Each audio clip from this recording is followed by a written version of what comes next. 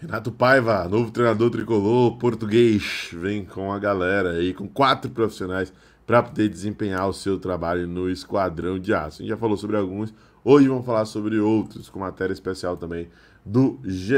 A gente também vai falar sobre patrocinadores, trazer aqui a trade, o fio feito para a galera do Extracampo, dos patrocinadores do City Futebol Group que poderiam chegar para o Esporte Clube Bahia. A gente já comentou sobre isso, mas a gente não trouxe nomes concretos patrocinadores. Hoje a gente vai discutir mais sobre essa questão, tá? Isso e muito mais no vídeo de hoje. Bora lá, meu povo!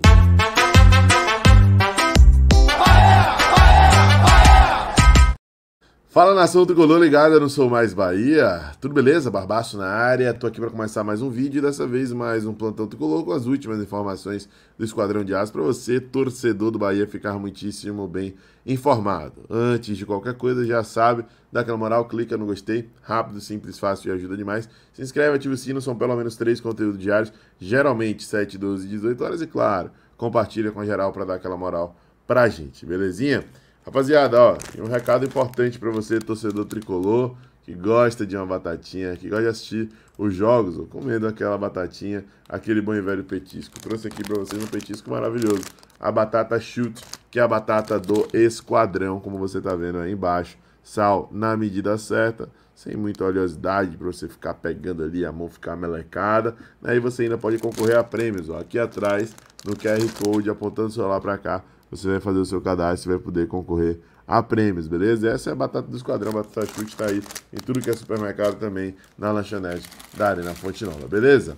Rapaziadinha, a primeira informação do nosso plantão tricolor de hoje está na sua tela, matéria do Globo Esporte, matéria muito importante sobre Renato Paiva. Nossa querida Gabriela Gomes, lá do GE, falou sobre isso. Entrevistei dois jornalistas de Portugal que acompanharam de perto o trabalho do novo técnico do Bahia, o Renato Paiva, o David Novo e também temos o Walter Marques. Inclusive, Walter Marques pode estar em breve por aqui. Meu querido Marcos Alves, que é torcedor tricolor, é jornalista, né? Tá aí cobrindo a Copa do Mundo e está é, lá no Catar, mas é de Lisboa, né? É, é, sediado, digamos assim, né? Fica lá em Lisboa. Mas é baiano, torcedor tricolor. Ele passou o contato do Walter. E em breve a gente pode trazer um conteúdo bacana também sobre isso. Por enquanto, vamos ver aqui o que disse ele e também o David Novo lá para o Globo Esporte. Né? Eles comentaram sobre o estilo de jogo de Renato, personalidade e razão do técnico ter acertado a proposta do Bahia. E a resposta no final é surpreendente. Vamos ver aqui a matéria do GE que Gabriela colocou. Olha aí. Renato Paiva, o novo treinador tricolor. Quem é esse português de 52 anos que a partir de agora vai comandar o Bahia?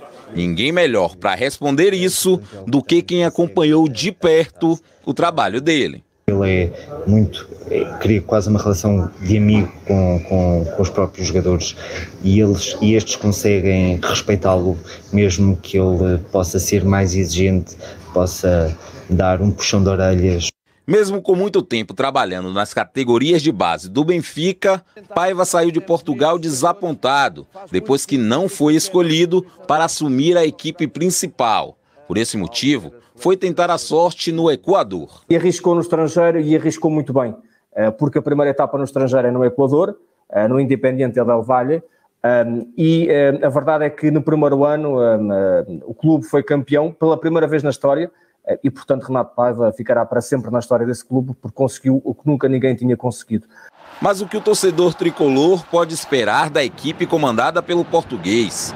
Ofensiva? Defensiva? Equilibrada? O treinador também tem que se adaptar ao estilo dos jogadores e ao estilo do futebol brasileiro. Jogava sempre em 4-3-3, era um modelo uh, uh, que, que, a estrutura privilegiava em todos os escalões, uh, jogavam invariavelmente assim.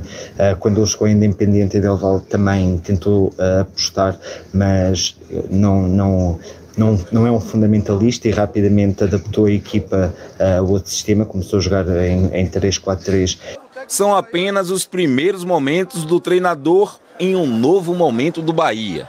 Mas uma coisa é certa: a torcida tricolor pesou muito na decisão do português. Uma das uh, razões, uma, um dos pontos fortes uh, neste projeto foi a torcida do Bahia, uh, que ele considera ser uma torcida apaixonante e que isso também faz com que seja uma vantagem, um ponto positivo Tá aí, velho. Bem bacana, bem legal. Detalhe importante a ser destacado. A torcida tricolor foi um ponto imprescindível nessa negociação, né? Existe o projeto, é um fato. É o City Futebol Grupo por trás lá ele. Mas a torcida tricolor é cativante demais. Não tem jeito, galera. Gente, nosso parceiro Marinho Júnior, que tá lá no Catar acompanhando a Copa, trouxe uma atualização da informação que o nosso querido Vitor Torres, meu sócio, amigo e irmão, trouxe sobre Bruno Lopes, né? E aí Marinho complementa dizendo: Bruno foi informado ontem que não permanece. Desejo sorte ao profissional. Renato Paiva chega com mais quatro profissionais. Vai sair mais gente. Daí a gente tinha até comentado. Vai sair mais gente. A reformulação continua, continua daquele jeito, intensa, gostosinha, né? limpando mais que a Limpurbe, né? E teremos coisas bem novas aí para a próxima temporada. Além da comissão, né, com Renato Paiva mais quatro profissionais. Teremos aí também 10 a 15 contratações, como já disse o próprio Guilherme Benitani. Resta a gente aguardar aí a cena nos próximos capítulos, o desdobramento dessas tratativas, tá? Gente, vamos refrescar a memória aqui falar sobre patrocinadores. Esse conteúdo aqui, isso daqui especificamente, ó, a matéria lá do GE, da entrevista Guilherme Benitani com Rodrigo Capello, a gente já trouxe, a gente comentou isso. Mas só para refrescar a memória e puxar o gancho para o que a gente vai comentar, tá? A pergunta foi se o City é, pode trazer patrocinadores de fora do Brasil que queira fazer negócio na Bahia e se tem alguma porta que serve por causa deles. Aí Benitani disse, tem. E hoje todo o mecanismo dessa plataforma Interclubes, que é o City Futebol Group, já está à disposição do Bahia para começar a nos ajudar nesse movimento. A gente tem isso não só como alternativa, mas alternativa real. Não é uma hipótese, é uma realidade. Estamos trabalhando nisso. É lógico que nem todos os patrocinadores globais do grupo têm atuação no mercado brasileiro. Não faz sentido para uma cervejaria que patrocina o City na Europa ou no Japão investir no Bahia se ela não tem cervejas aqui no Brasil. Mas a gente já tem um trabalho feito de identificação dos potenciais parceiros globais e estamos em conversa sobre isso. E o que é isso? Identificação dos potenciais parceiros globais? Que tem relação direta aqui com a Bahia, com o Brasil, né? Que possa de alguma forma estar relacionado ao Bahia, possa contribuir aí é, para o crescimento do Bahia e vice-versa. O Bahia também contribui para o crescimento da marca. E nossa galera do Extra Campo, Lula Bonfim, Ulis Gama, fez um fio, né, uma trade falando sobre os patrocinadores do City que operam no Brasil e que podem vir para serem patrocinadores do Bahia. Vamos ver aqui alguns, alguns desses, né? Tem a Puma, a Puma se tornou parceira do City Futebol Group em julho de 2019, quando o Manchester City encerrou seu contrato com a Nike a parceria da Puma com o City Futebol Group é o maior negócio que já fizemos, disse aí o Bjorn Guden, o CEO da Puma. No Brasil, o Palmeiras tem contrato de exclusividade com a Puma. E aí poderia fazer o que fosse patrocinado o Bahia pela Adidas, quem sabe, né? Mas enfim, pode ter conversa também. Segundo a patrocinadora é a Nissan, Nissan e City Futebol Group se juntaram em julho de 2014 e a empresa se tornou a primeira parceria em todo o grupo do City Football Group. Em 2021, a Nissan aumentou 6,4% de suas vendas no Brasil.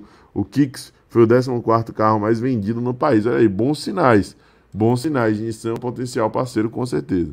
Tem aqui o Cisco, em seu site, o City Football Group descreve a Cisco como líder mundial em tecnologia, focada no uso da tecnologia para impulsionar a inovação. A parceria é uma forma de melhorar a conectividade para clubes e jogadores e torcedores. O Manchester City usa o Cisco né, na tecnologia do Etihad Stadium.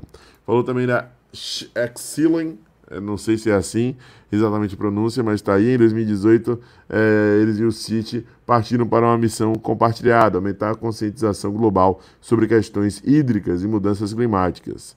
Eles operam no Brasil com tecnologias para o tratamento de água, também totalmente pertinente. E aí botaram fim. Querem que façamos um outro filme mostrando os patrocinadores do Manchester City que operam no Brasil e poderiam vir a fechar com o Bahia? Comenta aqui, então vai lá, galera. Comenta, chega junto daquele jeito para a galera do Extracampo fazer este apanhado. Inclusive, ó, teve um comentário aqui no meio dessa caminhada, né, sobre, cadê?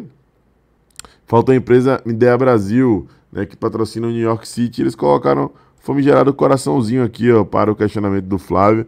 Né? E aí a galera tava elogiando a ideia e eles falaram que tomara que demete essa parceria. Já estão dispostos aí, né? Agora a galera tá tudo interessada em fazer resenha, fazer uma parceria com o Esporte Clube Bahia, tendo o City Futebol Group ali ao lado.